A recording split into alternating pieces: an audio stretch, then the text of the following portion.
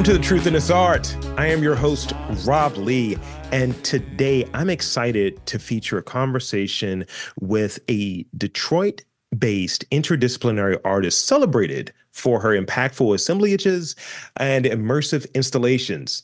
Her latest exhibition, uh, Ancient Future, is a journey through Afrofuturism, Black mythologies, time, so many different themes that are there.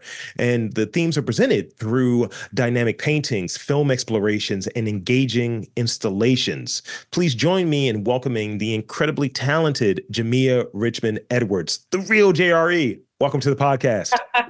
Thank you. Thank you so much for having me. And I have to do my Detroit native greeting. Um, what up, though? What up, though? what up, though? I, I'm always very curious about like sort of the you know when people talk about culture, I'm always interested in that sort of stuff. And you know, as a person who I'm born and bred Baltimore, East Baltimore to be specific, okay. and my own people don't think I'm from here because I have this voice. They're like, you know, like you don't say dummy or nothing, son. I was like, what do you mean? You're you you know. Y'all have some some some interesting um vernacular going on, but I, I rock with Baltimore. I respect the city for real. One hundred percent, and there there is some, and we'll definitely tap into that a little bit. There is some, you know, some overlap and some connectivity between Baltimore and Detroit, so we'll definitely talk yes. about that a bit. But um, to start off, as is customary in doing this pod, I, I, like to give folks the space to, you know, introduce themselves in their own words. I think, you know, I can get the, you know, the artist statement, I can get the yes. press release, the cut and paste joint, but there's always something that's kind of kind of missed. And I remember interviewing a person and she was like, Well, my first title is human. And I was like, All right, cool, let's do it. So, you know, for you, could you introduce yourself and share a bit?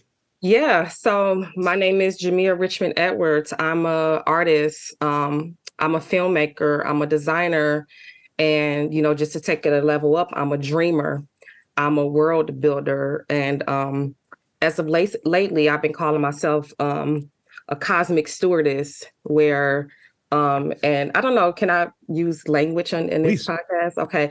I feel like my part of my role is to take niggas where they need to go. So um, you know, that's why I like the cosmic stewardess um, route um, as of lately. So that's how I'll describe myself. I like it. I like I like the answer.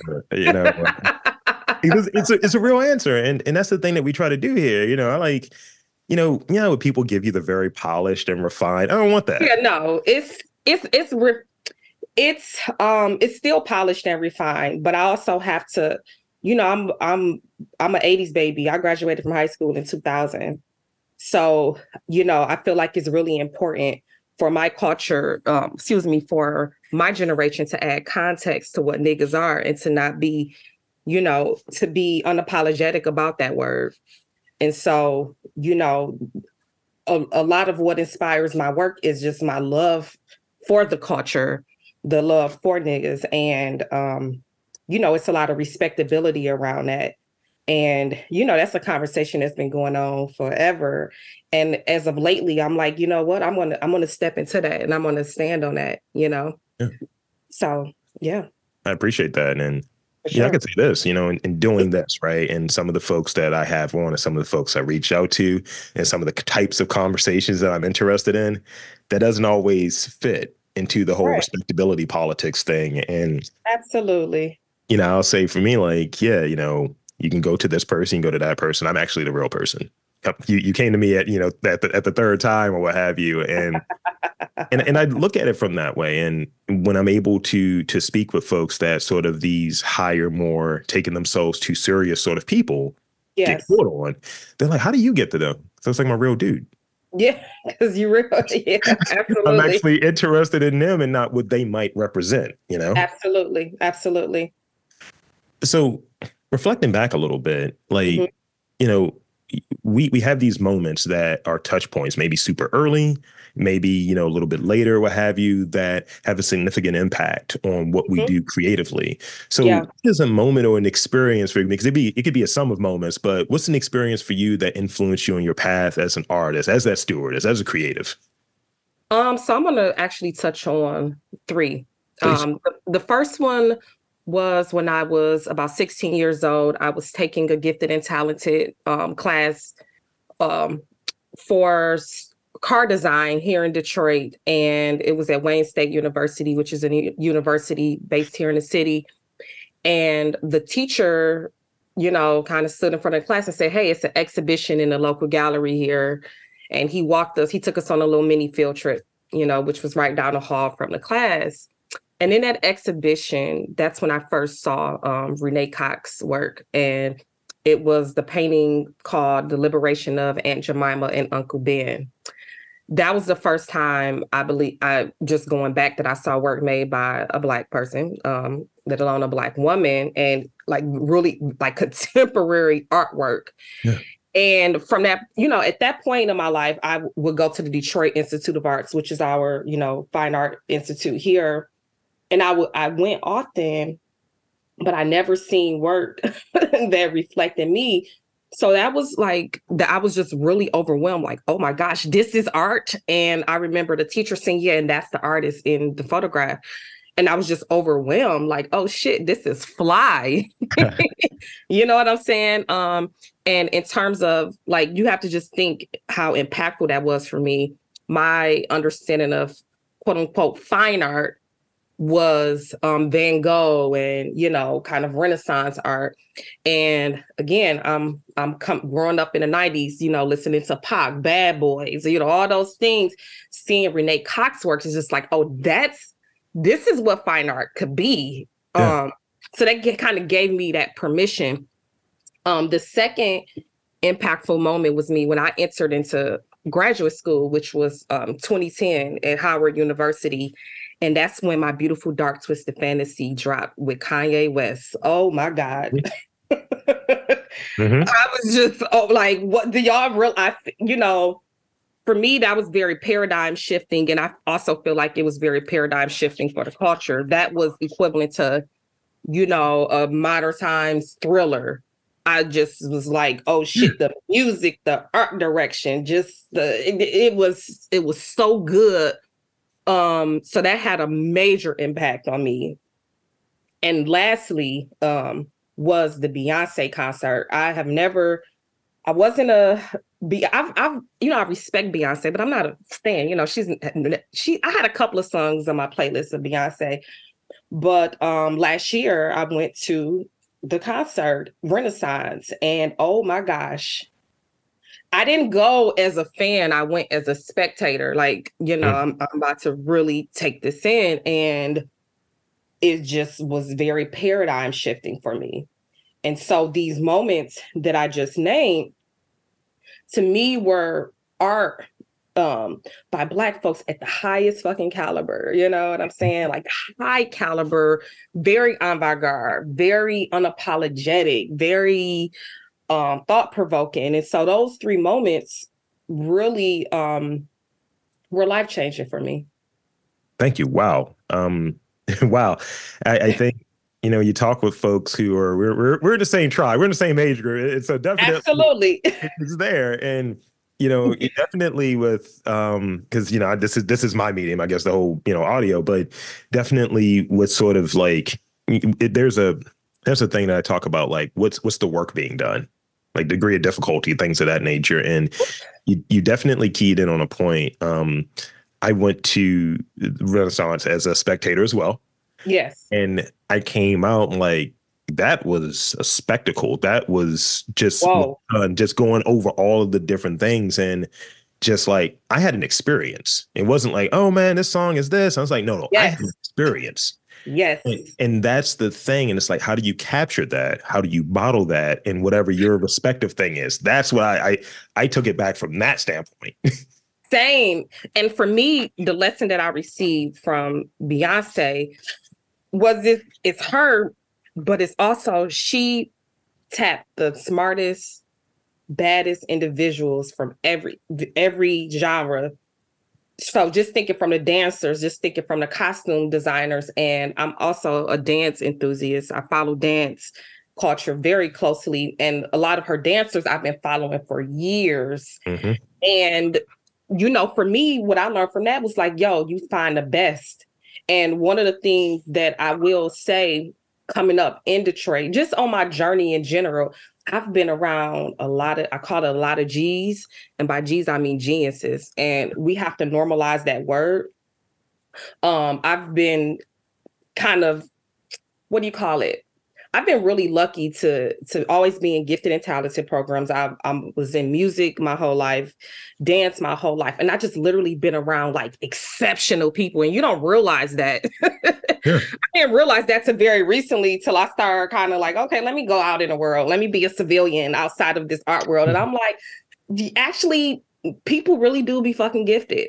Mm-hmm. it's a lot of exception um exceptionalism here and um, I think in this Western construct that we live in, we tend to kind of like downplay that, you know, or people are mm-hmm. overachievers. It's the it's that that psychology that that downplay it. But what I realized with the Beyonce and even looking at the Kanye and Renee, and it's just like, no, these people are brilliant. Mm-hmm. And they're surrounding themselves with the most brilliant people in their respected genres. So yeah, those moments were just kind of like altering.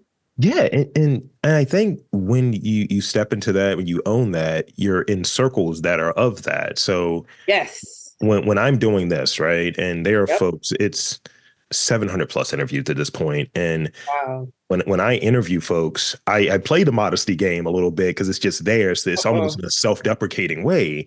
I do it. You know, I'm more like eh, you know, and because I'm a perfectionist, I do it from that standpoint, but I know where it's coming from sometimes too. And, and at times I just got to gas myself up. And I'll talk with curators who will, and I'm like, they they have a you know a certain vantage point that they're coming from, or even a certain type of guest, like the you know, oh, you're a photographer or you're, you're a visual artist, and and so on, and getting their perspectives on what I do. And when I talk with curators, they're like, you know, you're curating, right? Or what I tell like, yo, you need to stop saying you're trying to do something, you're just doing. I had that conversation with Terrell Telford. He's like, you're doing it. He's like, just you got it, bro. Or even to be very specific, when I talk to folks that look like me and you who are in radio, who are in that this sort of, they're like, why aren't you in radio yet? And I'm like, look, I, you know, I'm told that I don't fit the thing. So I'd rather just be independent and just be able to talk to the people I want to. That's the wave. Yeah. You're doing it. You're yeah. doing it. Yeah. And it's really about one of the things that I've been talking about the past couple of years is what well, a term I came up with is like submitting to my genius. Mm. A lot of times we we fight it. You know what I mean? And we fight the ideas, we fight the grandeur, we fight the, you know, we, we fight a lot of things. And I I'm 40, I'm 41. So, you know, you cross certain thresholds in life where you just like, actually, I just don't give a fuck what nobody say. I'm just about to do it. and it's um, you know, it's really, it's really liberating.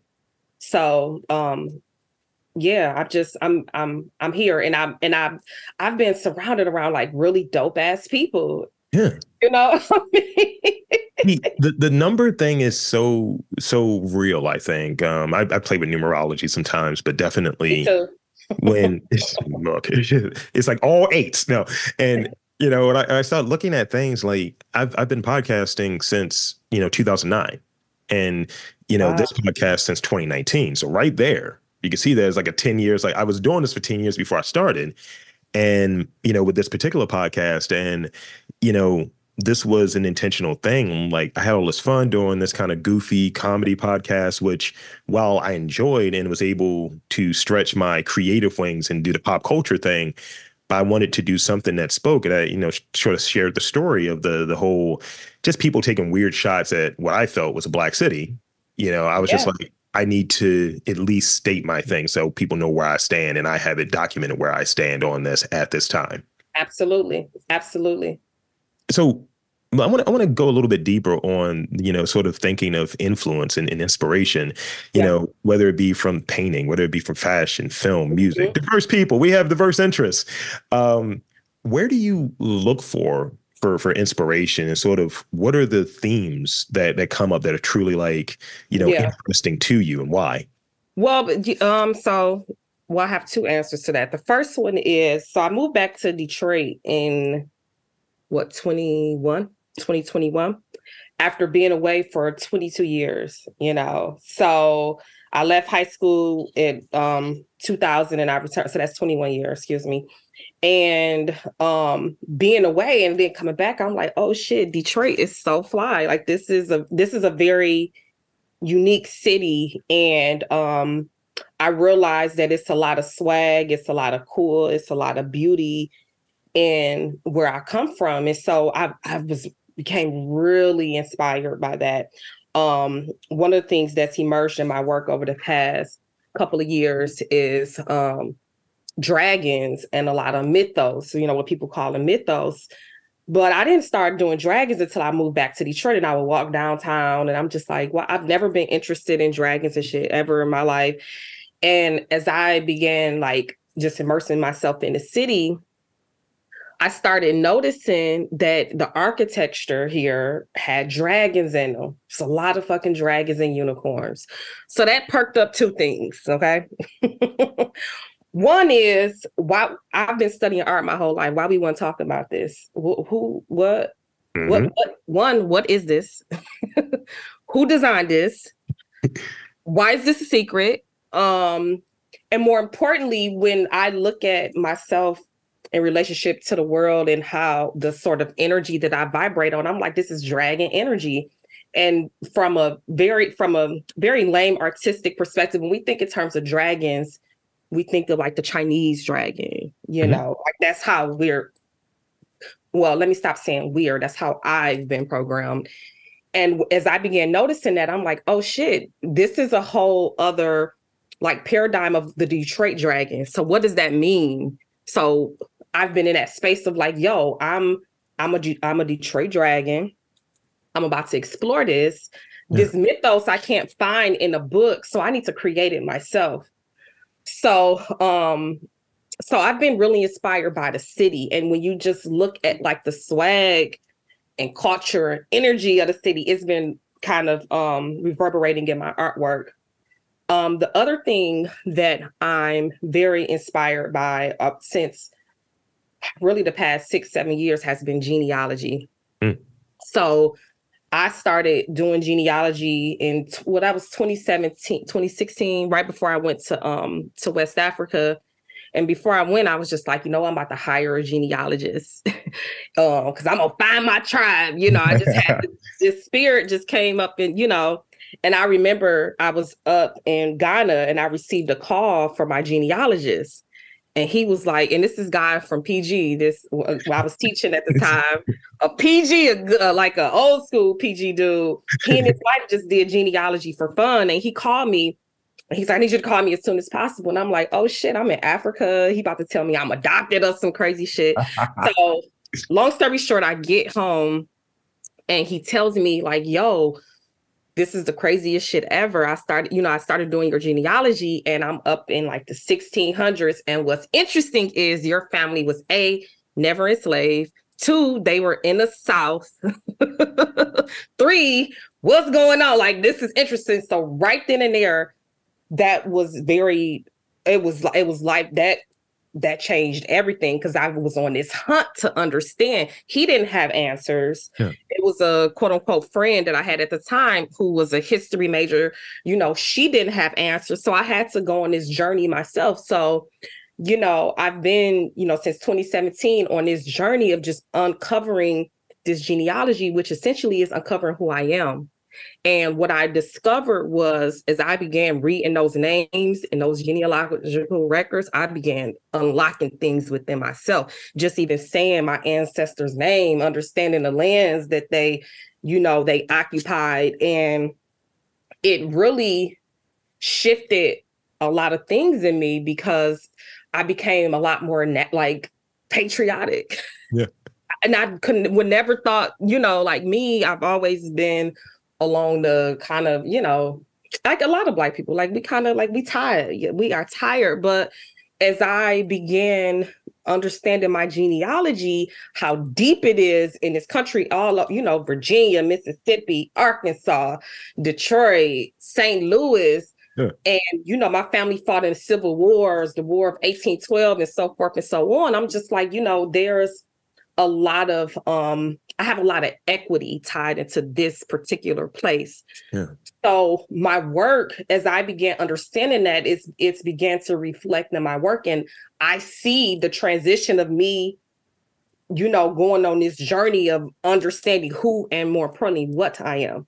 So yeah, I forgot your question. no, no, no, no, no. That's that's great. That's great. Okay. Um, because you know it, it, was it was giving me like you, you you were touching on the dragon portion. Yes. You know, it, it was like unlocking something. You start like looking at things, and you know, I, I wonder like sometimes when I have like a chance encounter with somebody, I'm like, all right, why did that come up? That was weird.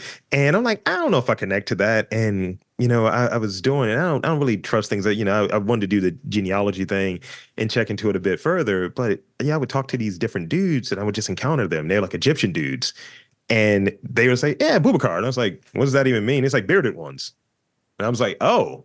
And it's like, "Yo, you're one of our our people." I was like, "No, I'm not. I'm just from East Baltimore." And it's like, "Bro," or and you know, and I haven't gone too deep, but I did do the the 23andMe, and it definitely popped in like Egypt, and I was like, "Oh." Well, and the other thing that is in this vein, like I'm an Aquarius, right? And you know, I, I, was joking. It's a Meek Mill lyric. It's like I'm wavy like an Aquarius. I was like, yeah, you are.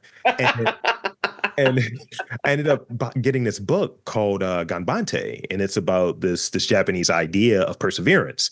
And they used that great wave off of Kanagawa as the example of this mm. is sort of the imagery for perseverance. And it's like if you look close to it, people see different things. They see Fuji-san, they see Mount Fuji, they see these big waves, but in between the waves are the people canoeing.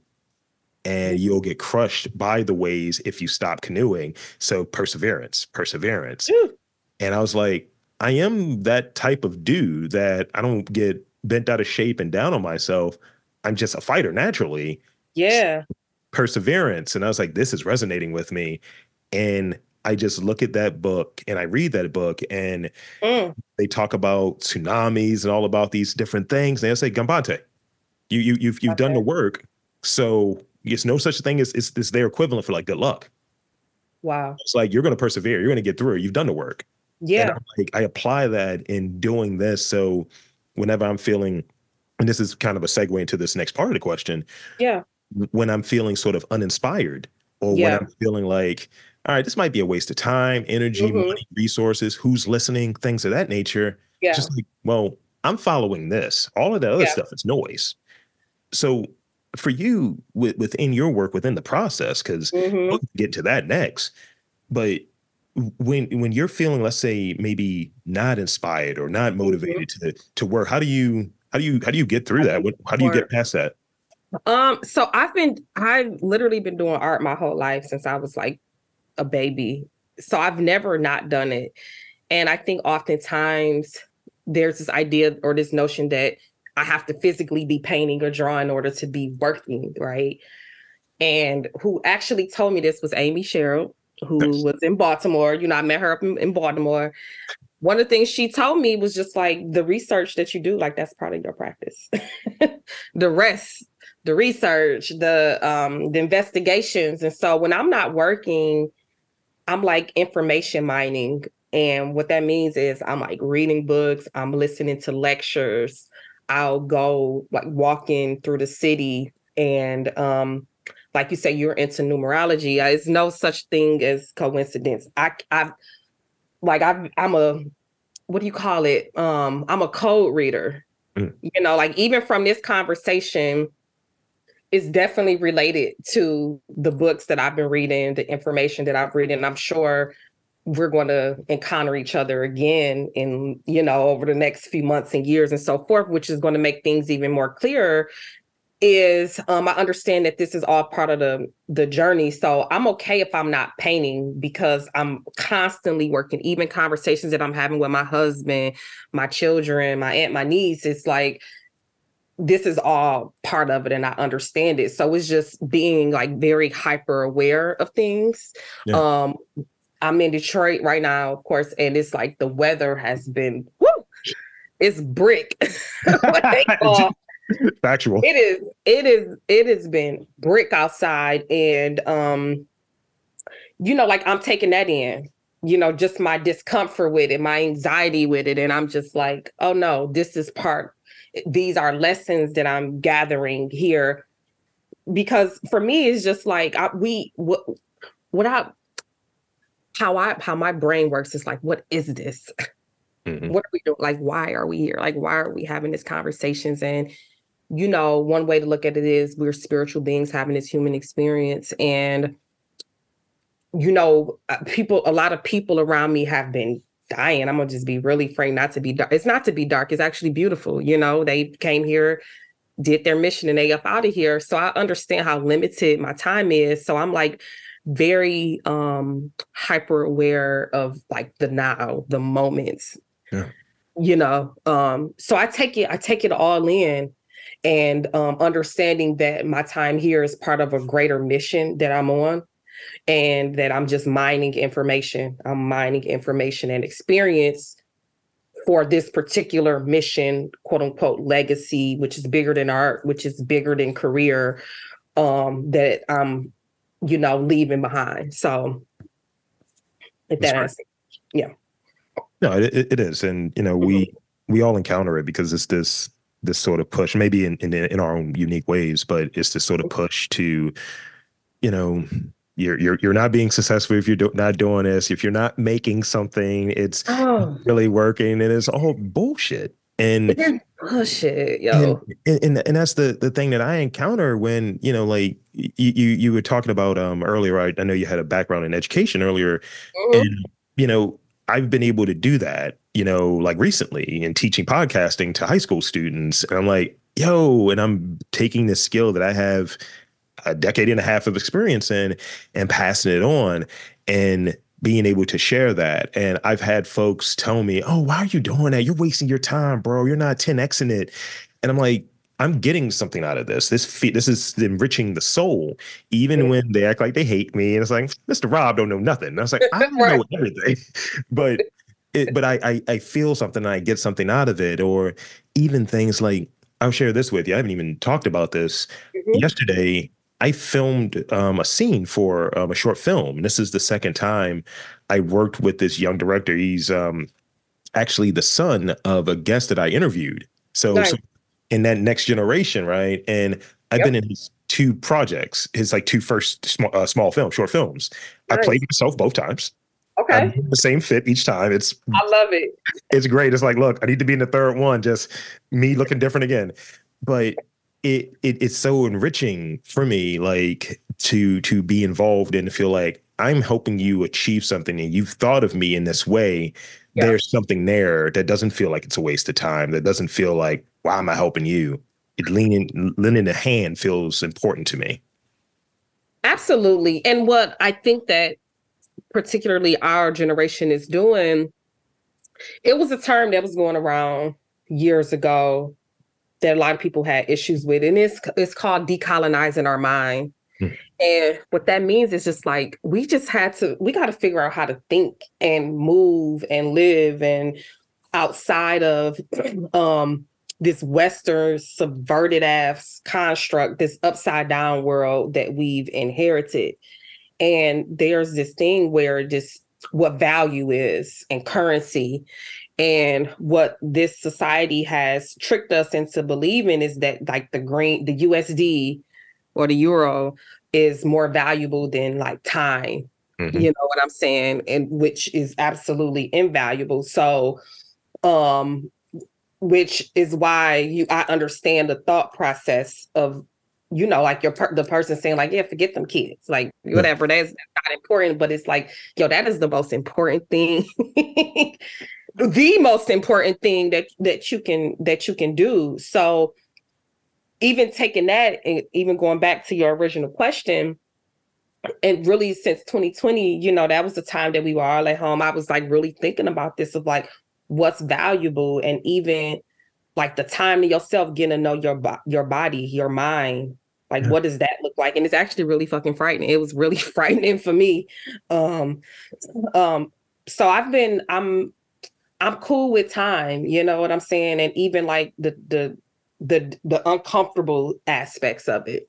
So yeah, it's um, you know, that that you, you talk about 2020. That's a I think that's a you know you you you go through something. It's like I need to tag this particular thing right here, and that is sort of that is sort of when this podcast took off. People were home and people wanted to share their stories, and it wasn't yeah. a being advantageous sort of thing of I have a captive audience. It was more so people want to connect. And I'll even add to one of the things you were touching on, at least from my perspective, I think, you know, we're in a spot, you know, our generation, what have you, I guess, is in this spot where we're we remember when the internet and social media, all of this stuff popped off to the degree in yes. which it's a part of your everyday life. We can speak that language and also be there is like, oh, especially from an, I guess, an educational perspective of like, hey, it's not going to be bad. You can figure things out. We've gone through it. You know, like I remember 9 11. I remember how everything was terrifying. I remember the DC sniper. I remember all of these different things. I remember yeah. that crash and student loans and all of this different stuff mm-hmm. because I find like, in, and I encounter it talking with some some artists, some guests, and so on, that there isn't that sort of Ganbatte attitude. It's sort of this woe is me sort yeah. of thing, or even, well, this person is doing this. So I need to do the same thing to be successful, losing identity and losing maybe the reason why you're doing something. And yeah. you know, I rally against that so much because it hits this area. And I made the the subtle jab, uh, either the real JRE earlier, because as soon as that deal happens, every dude with a microphone thought they were Joe Rogan. And it's just like, do your own thing. Are you t- are you you want to talk about thumbtack thumbtacks? Talk about thumbtacks if that's what you're into. That's what we lost in this internet age, and as we are, we're we're the new elders. We know we the new aunties and uncles, um, and I think that that insight is really important. And the thing about the internet is like how how real is it? You know, I always ask myself that like this when I log off, none of that shit exists. Right. Right. Like you guys go disappear when I'm like logged out. it really is. So you have to so I have to ask myself often like like really question it. And I do this go back and forth deleting the app and then coming back, deleting it. Um, because it's and I noticed this in 2020 with I have my my my youngest at the time was like three years old. And, you know, everybody was losing their damn mind. You know, you had Trump and all of this stuff.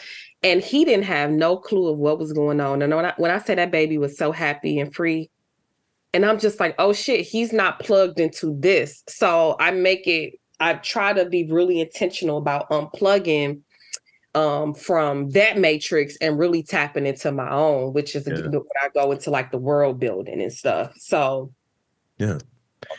So this this next question was not in there, um, I and I think it's a good one because it connects to what you were just touching on. I'm very very curious. It connects to a degree to what you were just touching on. Very curious on like I think creativity when it comes to like young folks because they're unencumbered with these different feelings that we yeah. encounter as we get older of like criticism or you know ego or even critique or comparison i think you know younger folks create to create i've used this um, uh, example multiple times when I was like five. I, I, had like the huge glasses, like just me, but smaller, right? And I was an MC. I was on stage, like doing masters of ceremony, right? Okay. And that notion is now is nearly 39 is terrifying. So you know but i think then i didn't know any better. I was just like yeah whatever you say. I, you like me because i'm doing it? Cool. You know and i think as adults we we have to find ways to tap back into it. As we have people who incorporate play into their process yeah. or just make it a point to just i'm just going to mess around. I'm just going to have a coloring book here. And just to, you know what do you think around like sort of you know creativity from when you're younger to as you you know yeah. get older?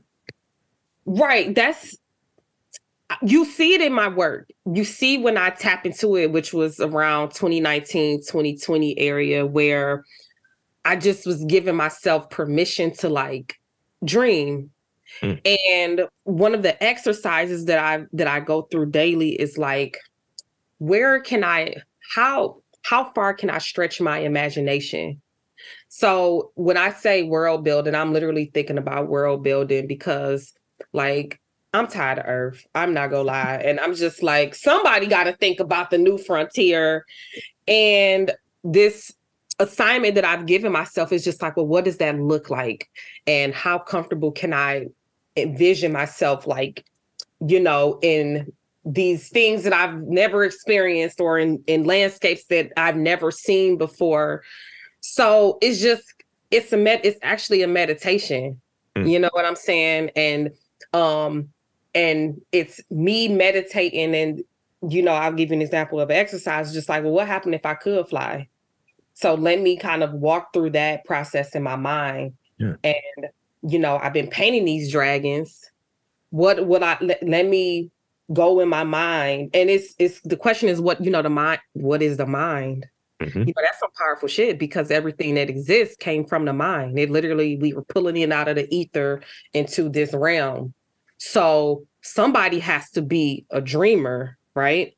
Um, so that's the exercise that I've been doing. And particularly going back to these dragons, because it's that's where I'm kind of like obsessed that I have like all these books. I've been reading um 14th century, 13th century literature in relationship to dragons because I'm like, no, it's something there.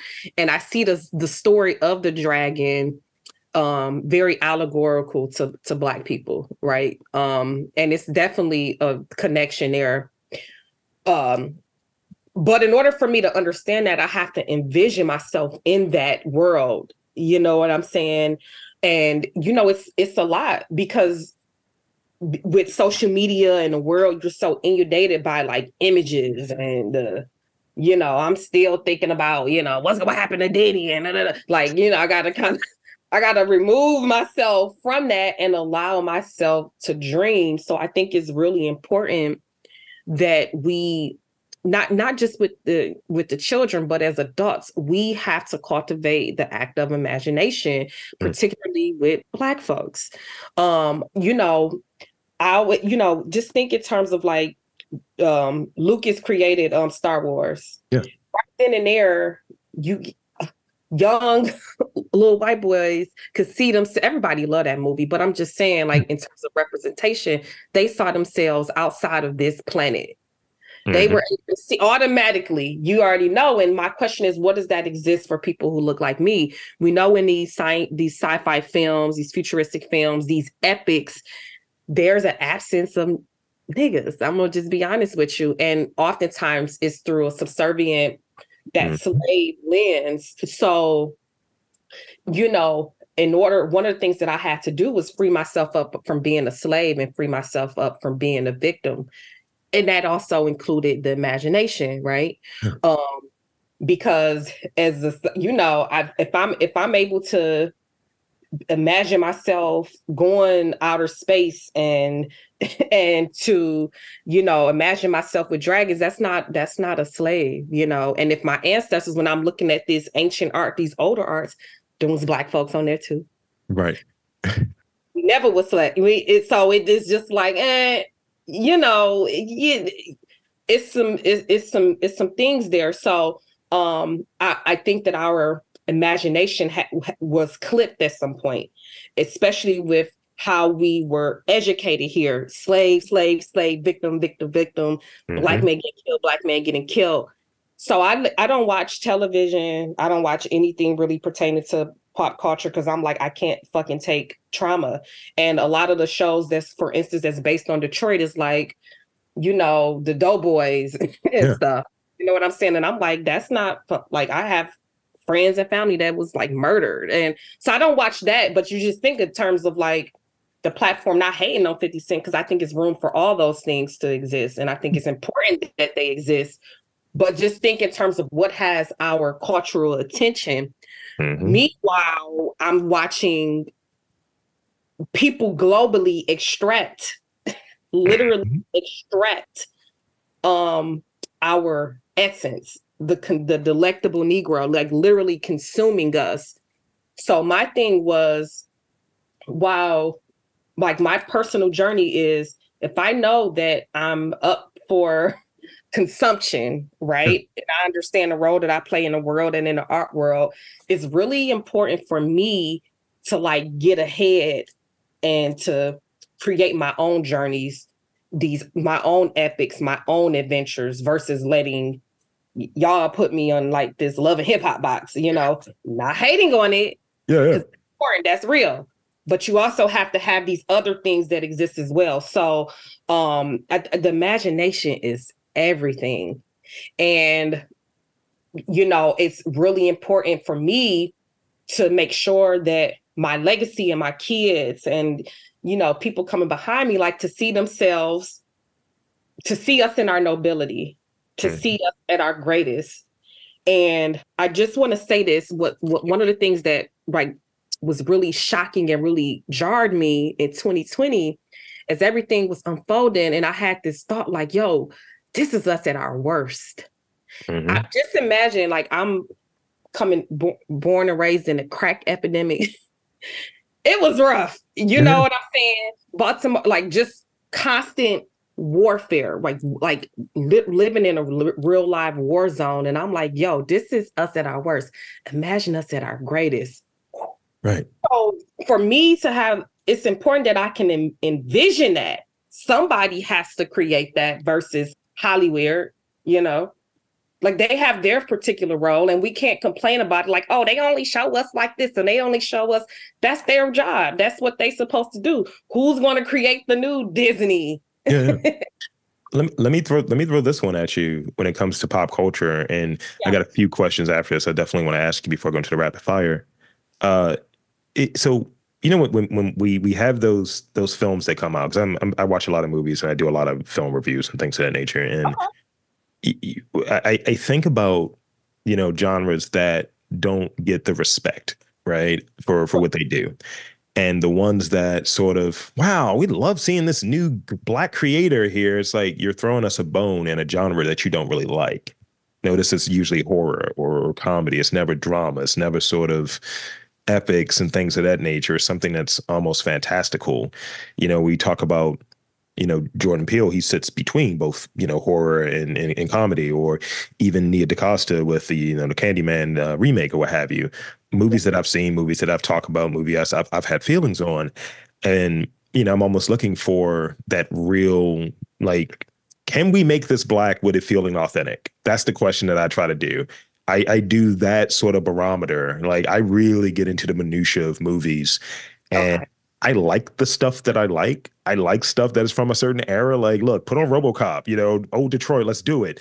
Absolutely. But, but at the same time, and this is the his, history of it. Right, the movie came out when I was two, and I should not have seen it as early as I seen it. I was like, yo, why I don't like none of the black guys in this? That was literally my thing as a kid, uh, except for this one dude in RoboCop 2 who reminded me of an uncle that never existed.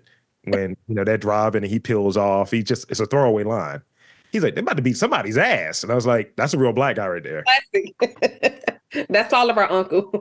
but when you get to sort of the yeah. you, you like the you know the, the the stern black archetype sort of police chief and things of that but that's a that's a that's an archetype um but there's no the only person that was kind of a black person was probably the annoying person in the first movie that the the bad laugh absolutely and, you know and they're all stage actors you learn. You're like, oh, you're classically trained. You're doing this for the role, for the heat. Yeah, but I think that that's you. We got to just think about it in terms of like, and I would argue that's the that's across all genres. That's across music. That's across fine art. Mm-hmm. that's mm-hmm. across. Mm-hmm. You can go every. You can check it off everywhere.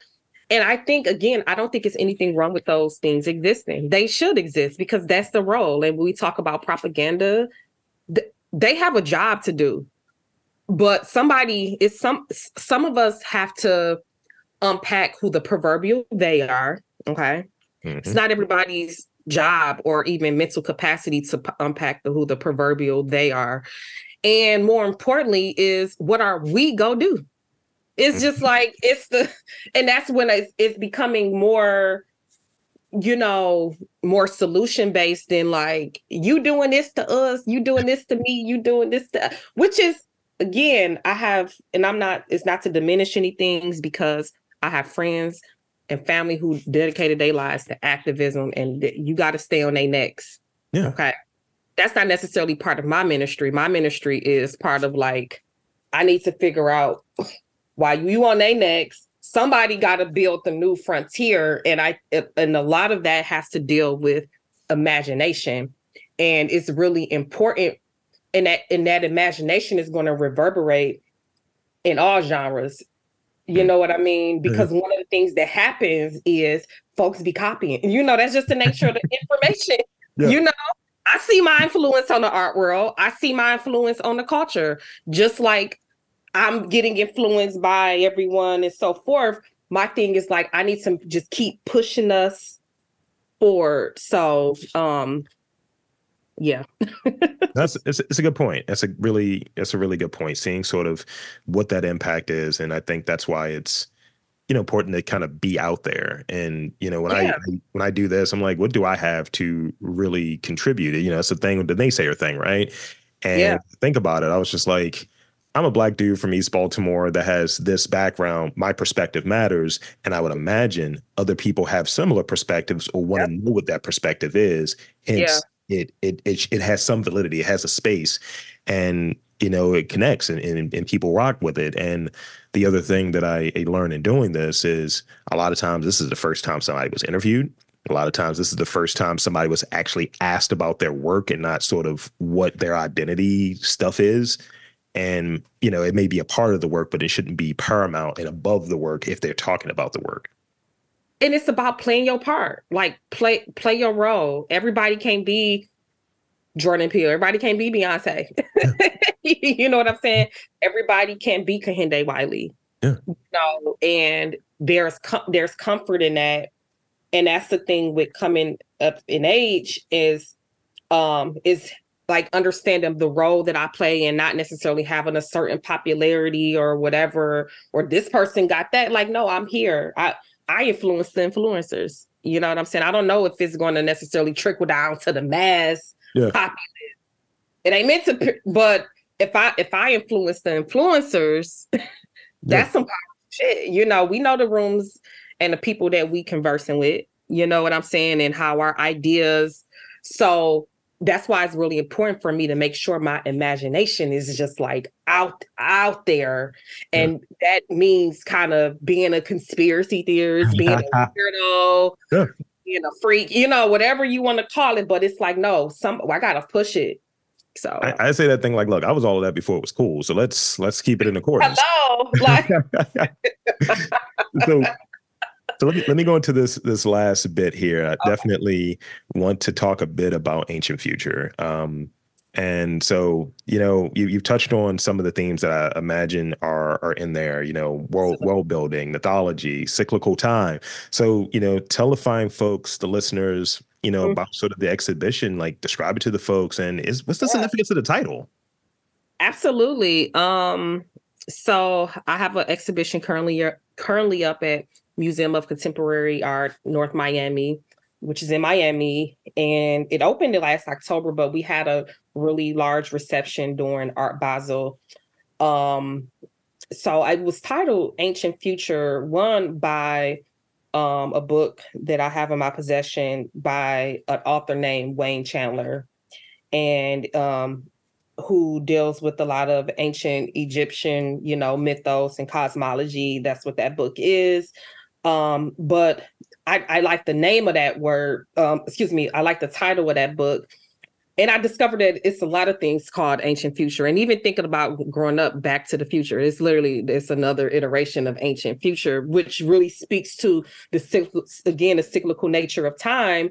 And what I mean by cyclical nature of time is like we go through these these cycles, and even what we are in now you know, which appears to be like a lot of just the world is just falling apart. Shit is just going wrong. But me, as a person who's like the observer, I'm just like, yeah, no, we going through another cycle and we we actually go be all right. So what I one of the things about like me and my practice, like I'm, you know, I mentioned like I'm the weirdo. I'm the because I feel that to some degree I'm a seer, like I could see into the future.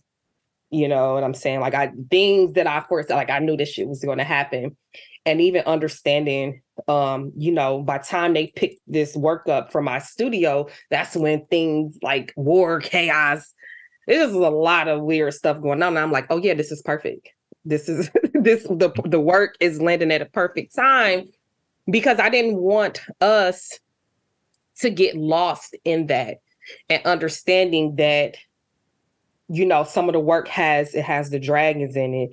It has the largest piece called um the dark night of the soul is this figure kind of um thrusting outside of the um the firmament into the cosmos um surrounded by the goddess the ancient goddess nut and it's just that reminder of like yeah all this shit is happening in the world but we good. Right. and um it's really important that we understand our place in the cosmos. And even when we've been going through shit since we since the beginning of time y'all it's been worse. I'm for real. Like our ancestors just think of what our aunt we going through this. We had the, the, the, pandemic. I'm not saying it is it's traumatic but when you begin like really reading the history it's just like ooh shit this is we coming this is we entering in a golden age because it was it was rough okay? Um so it's kind of that reminder because I also understand how Black people are utilized in these times. Like they want to get us riled up. Mm-hmm. And it's just like, no, we the, we have to think primordial, we have to think magical, or this is how I'm this is what I'm proposing.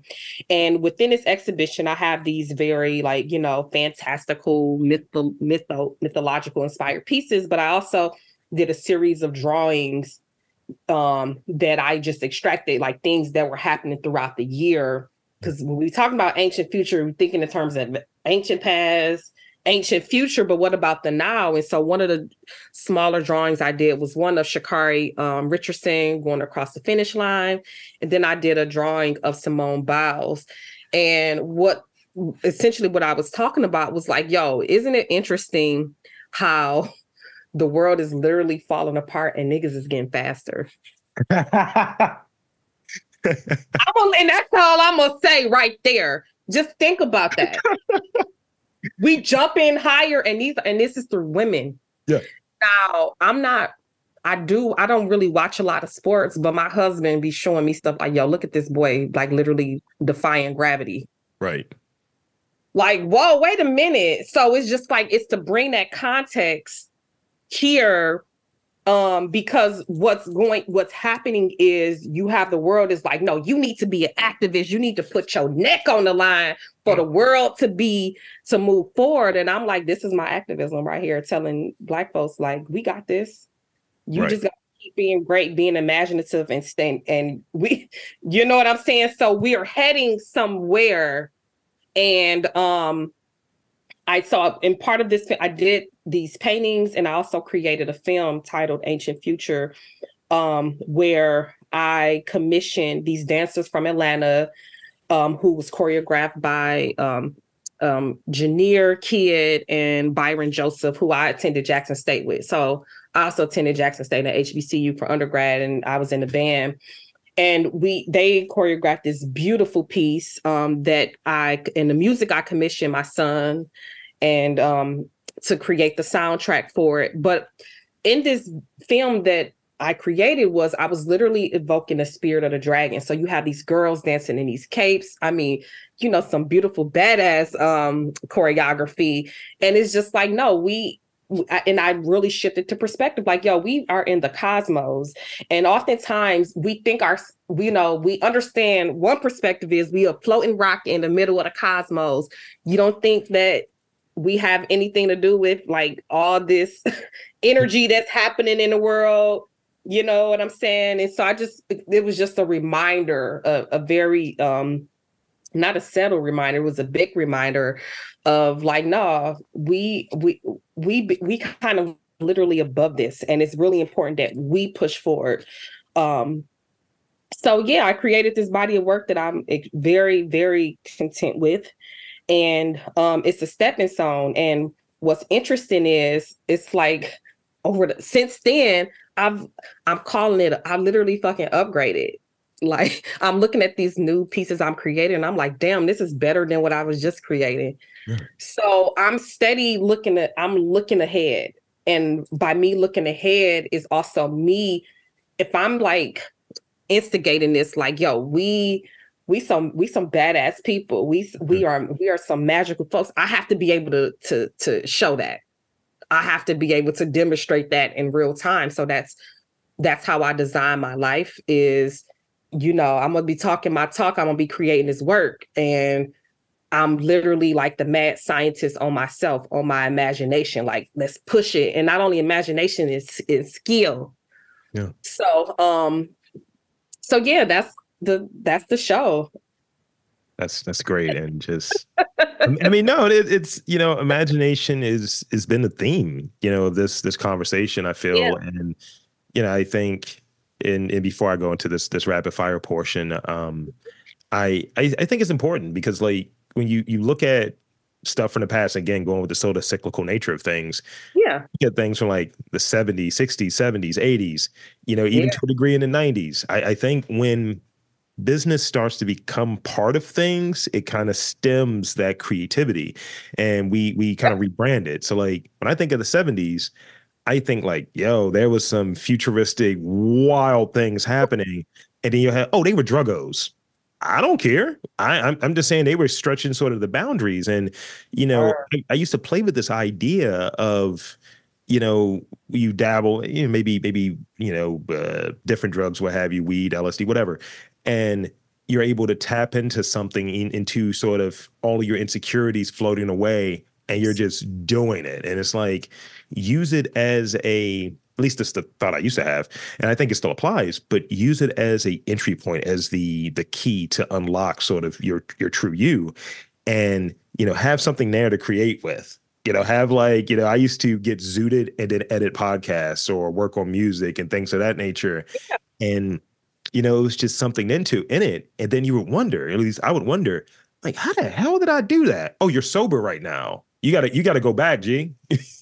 you got to go back and you when you just think in terms of like you know we indigenous people and we're we're speaking from very contemporary times but you got to think about if this was like way back when we if me being an artist i would be considered like a shaman-ish type of person i'd be up taking my shroom teas and kind of like pontificate like we do we do it now we're just not aware. we not I mean, we're aware, but we're not aware of what's happening. And one of the things that I've observed was you see how each throughout the time, you see how the drugs influence the art of that mm-hmm. time.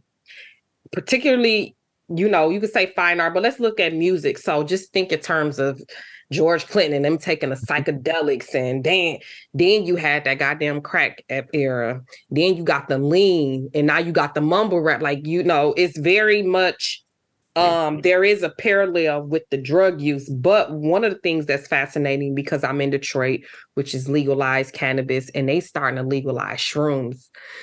Um, they began legalizing shrooms here, and I'm just like, that's actually a good thing because people are always we always going to look for drugs and you know just when you look at the ancient egyptian temples they was taking coke and weed they was smoking weed and doing coke like it ain't whatever yeah. that's the, we got we gotta we everybody on drug we know we big pharma all that shit but anyway um so i'm like oh yeah we're about to move back into that golden age as shrooms kind of began trickling down and i'm as i'm hearing getting back tapped into like the streets of what's going on and the culture is brothers and sisters are beginning to use that but we know that that um you know the lean is is is oh my gosh it's taking a it's the new crack it's the yeah. new crack epidemic and look at the music so i'm i'm definitely like let's let's fucking normalize it and let's get um let's make sure that we normalize using it for spiritual reasons. And we have to begin um, normalizing or defining what spirituality means to us outside of, you know, that colonized construct. So, so yeah, I'm with you, bro. That's real. So let me let me move into these last rap these rapid fire questions, and this is okay. this has been this has been robust. Um, so you know, as I say to everybody, don't overthink these. Um, which okay. I, I, you, you do the same, we're the same page, so you know. Get into it. Let's go. And um, it's kind of one of those things. And look, I said what I said. You know, it's kind of that. Um, so okay. here's the first one. Um, who do you admire? Mm. Who do I admire as of lately? Dame Dash. Okay. Dash, Master P. Um, those that's those like I respect them and I respect them for um their sense of um just being self-made men and independent, you know. So um right now that's who I'm like, yeah. yeah. I I have I have those hoop dreams of like being a self-made individual and not necessarily out in the system, you know. Like, you know, just think of P. He created his own phone line. He got his own cereal, the rap snacks, and yeah. his ramen noodle. He he created his own oodles and noodles. So um there's a part of me that like desires that. Absolutely. 100%. Aside aside from money, right? I think money is a bit obvious, and I I have relationships with money, and one of the things you were you were touching on earlier of sort of you know some of the advice that folks throw around. And it's like, yeah, bro, you got a 10 exit. I was like, nah, you know, communities, universe is going to sort me out. And that's the way I've been riding this wave on. From from your perspective, right? What are three things that artists need? You know, like excluding money, but what are three things that yeah. that artists need?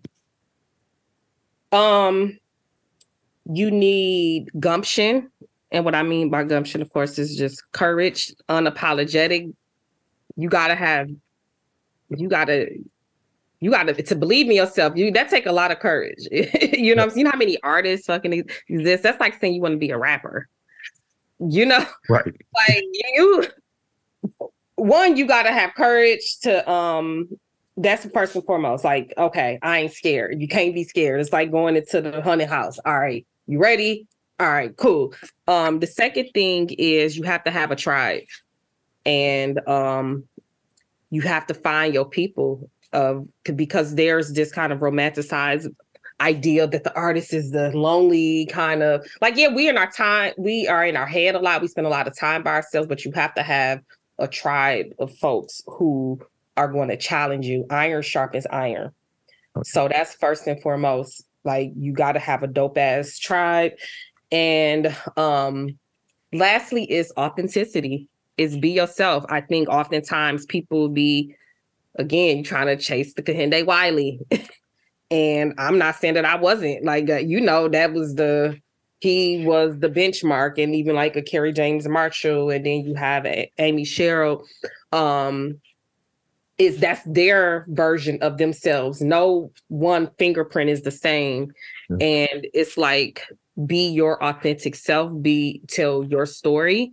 And um you don't have to like, you know, fit in and get in. I think one of the things that I learned, like the more I can understand and tap into my truth, yeah.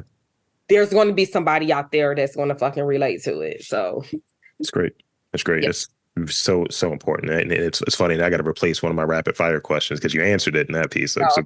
so, so, good on you um the, what is your favorite color at the moment because i know you artist types. Yeah i know. All the colors. Um i'm like really into this neon pink. Okay. I am in this neon pink. I, I asked a um, illustrator last week who in her bio is like pink is of course my favorite color so i had to frame it differently. I was like which shade of pink? And she was like ballet slipper pink. I was like all right you thought about this. I appreciate you. slipper pink but i'm gonna tell you how cold it is because like pink is the color of the interior pink is the color of the pussy you know what i'm saying the interior the, like it's some that's a fire ass color and i don't think that we talk about like the depths of pink. It's like, oh, girl pink. And, you know, like from a very like basic, it's like, no, get when you open up the body, the flesh. I'm so I'm so this is why Cam'ron wore it. Now I understand more. oh, yeah. yes. Yes. As a fellow um, Aquarius. A, oh, he's a fellow. Okay, so I'm a, I'm a Cancer, Virgo rising. Um, it's um yeah. So it's it's pink and i've been actually i've been like mining like i'm trying to find new colors in a in the imagination like i'm literally trying to find new colors so i'm a mid-tone guy it's it's always like. Ox like ox blood or something like that okay. i'll say the blood of my enemies it's it's a yeah. running bit uh you know the, the, or, or, it's, or it's like the olive joint but it's just like i try to find something that's complementary and also it speaks to I think sort of my personality. Like I'm always gray. Somewhere the midpoint is always where I'm at. And um, sometimes it could be a darker gray, but it's just like, look, there's room for exploration. That's the way I look at it. Um, so this is the last one, and I kind of before we got started asked a little bit about um, about food or what have you. So I definitely want to ask you this, as I'm curious. Like I'm a guy, you know, I'm always snacking on pistachios. That is my go-to snack. Do you have a go-to snack, and if so, what is it? Woo! I'm, yo, I'm going through this pickle phase, and when I mean by pickles, uh. pickled, pickled okra. Really? Oh God. We an okra household. Like my husband is really into okra. He did like a whole dissertation on okra. Like you know, it's it's a really we you know black people have a very unique history with okra, but um, pickled fucking okra. That's it. That's my go-to, and um, that's it. Like I, I used to have a real bad like I'm calling a cookie demon, man. It's like I have like serious addiction to sugar. You know, like we everybody does. Yeah. And you know, I, I I began thinking about that. I hate to go like on a quick tangent, but just real quick, just think about like in the 80s, growing going to school, it was just like say no to drugs, right? Say no to drugs. But right. meantime, they're pumping sugar, sugar smacks, cookie right. crisp, um, what's the damn lucky charms? Yeah. Like and we know that sugar is some that's the most addictive out that's what's taking 110 us out you got dialysis clinics on every other fucking corner and shit.